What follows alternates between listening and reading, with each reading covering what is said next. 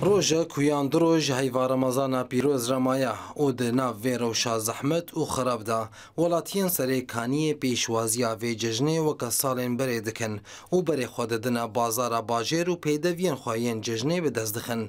û bi hilkefta nêzîkbûna cejnê û rojên dawî ji heyva remezanê, asayîşên serê kanî û rêveberiya bajêr biryar da bi qedexekirina çûn û hatina tirimbêlan û motoran di nava kolanên sereke de li bajêr di demijmêrên piştî fitarê de ji êvara bîst û pêncê rojiyê û ta roja dawî Riyên kolana sereke li bajêr li pêş tirimbêl û motaran tê girtin. Ji demjimêr heşt êvarî ta duwazdehê şevê be, bi armanca tevgera sivîlan bê pirsgirêkan hesanîtir be.